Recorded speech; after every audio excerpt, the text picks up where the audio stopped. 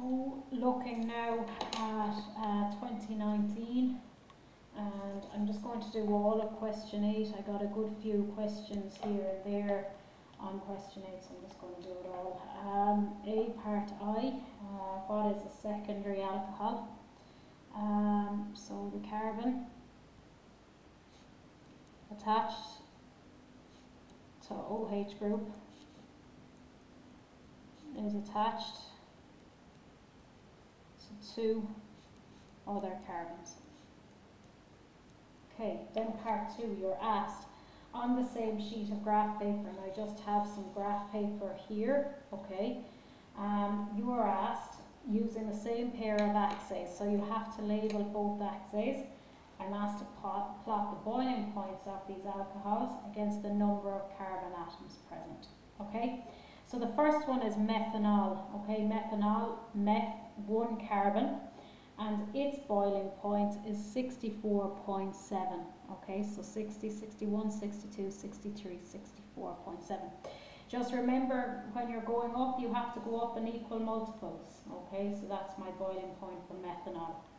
Ethanol then has two carbons, so I go up to ethanol, and that is 78.4, okay. So 71, 2, 3, 4, 5, 6, 7, 78.4. Next then, I've propan 1-ol and propan 2-ol and both of these have actually three carbons on them, okay?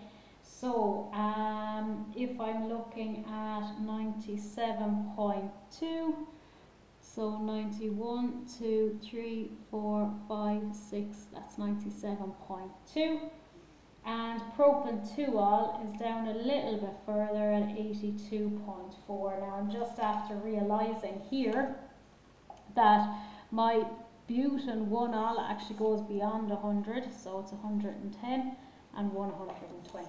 Okay, so I just didn't do enough there. Um, so if I look then at butane 1-ol, so that bute has four carbons, so I go up to 110 and it's at 117 so 11 12 13 14 15 16 17 okay.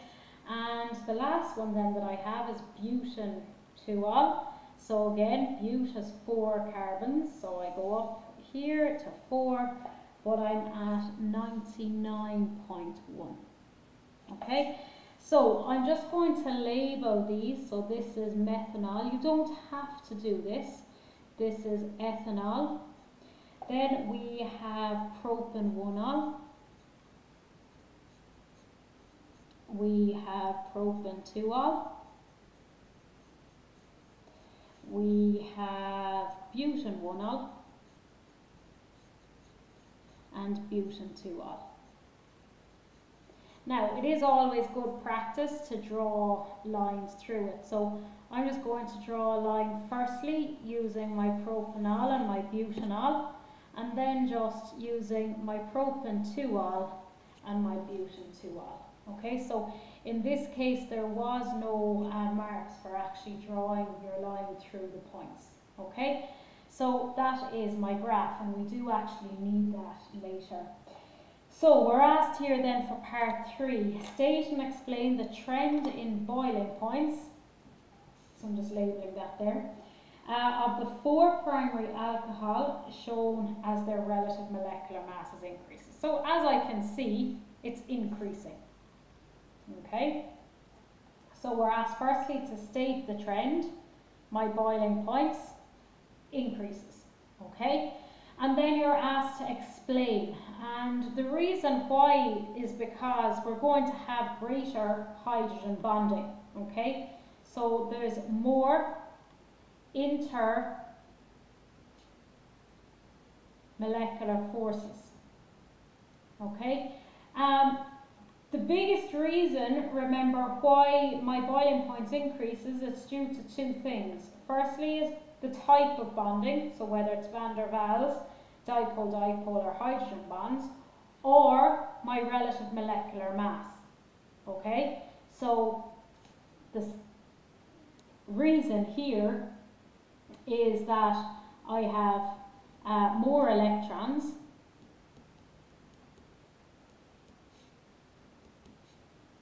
which means I'm going to have a bigger relative molecular mass. Just when you say relative molecular mass, I would also include just the word electrons as well. Okay, so that's part three. Part four then, predict the approximate boiling point of the next alcohol in the same series as propane 2-ol and butane 2-ol. Okay, um, right, so if we're going to look at this, okay, this really is the curve that I'm looking at. This is propane 2-ol and this is butane 2-ol. So if I was to continue for my next one, it would be in and around here, okay? So by my graph, I'm getting 110 degrees Celsius, okay? So there would have been an acceptable range there, Okay, um, so depending obviously on what your graph would be, but if I was to draw a line just simply carrying on here, the next member of my series, remember, would have five carbons, so that's why I'm going up to the five, okay, and this is where it touches my line. So I'm getting 110 and there would have been a range there that is acceptable. So that's my answer to part IV. Next, then, we're asked for part B. Uh, consider the oxidation of alcohols in which no carbon-carbon bonds are broken. And you're asked to give systematic or IUPAC names for uh, two possible organic problems or products of, for the oxidation of butane 1-ol. So the big clue here in the question is that you have no carbon-carbon bonds broken. Okay, so that pretty much rules out making anything other than um, uh, extra carbon bonds, we'll say. Okay, so I have give consider the oxidation of alks. I have butane one ol. Okay, that's what I'm told in the question. Okay, this is a primary alcohol. So the two possible compounds that this can be converted into by oxidation, firstly is butanal, which is when its primary alcohol is oxidized to an aldehyde, and when it is oxidized to a carboxylic acid. There's no carbon-carbon bonds being touched there. Draw the structure of the organic product when butane 2-ol is being um, is being broken in this is oxidized in this way. So butane 2-ol remember is going to create a ketone which is butanone. Okay, so one, two, three, four carbons, double bond on the carbon here. Okay, so that is your drawing of that. Then you're asked, identify clearly which bonds in butane 2-ol are broken in this oxidation. So what I'm going to have a look at here is I'm going to have a look and see what I have present and what I have new.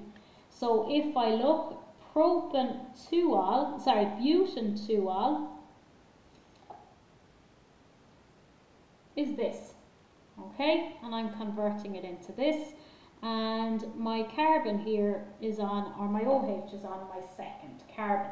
Okay, if I number right to left here. So if I look, we're asked here for the bonds in butane 2-ol which are broken. This is the first one that's broken. Okay?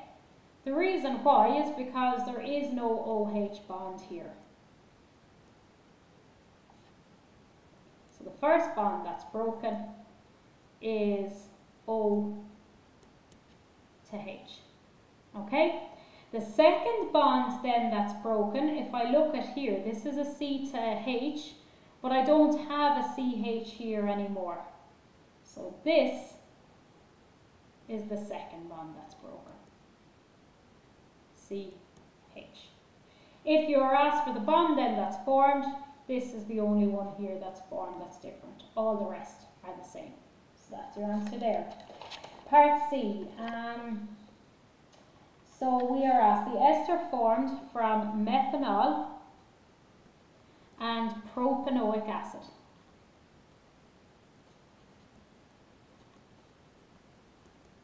Uh, you're asked to draw the structure. So remember, my methanol is my alcohol. It's always drawn last, always bonded to the O.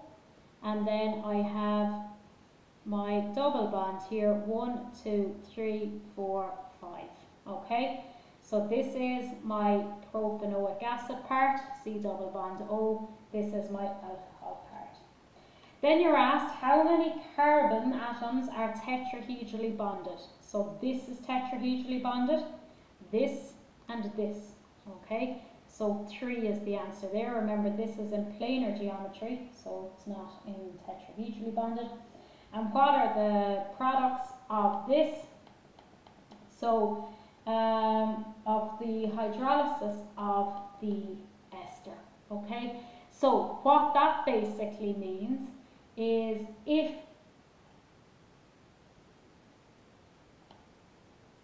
I was to um, to synthesize this using basically you're looking at your soap hydrolysis of an ester. Now Usually my co-product is, um, is glycerol, but the alcohol in this one is methanol. Okay, so the products that are going to be produced, the first one here is going to be, or one of them is going to be methanol. Remember, usually it would be glycerol, but I'm using, um, I'm using this here, my methyl propanoate instead. And what is going to be my, um, usually I have sodium stearate when I use glycerol tristearate, but in this case, I'm going to end up, instead of sodium stearate, I end up with sodium propanoate. Okay, so that's a little take there on soap. Okay, so quite a difficult question there. So remember, this usually is sodium stearate because I start off with glycerol stearate. But here I've started off with propanoic acid, so it's going to be sodium propanoate, uh, or sorry, propanoate. And usually for soap I have glycerol, but again it's methanol here because that's the alcohol I use. And that is the answer to that.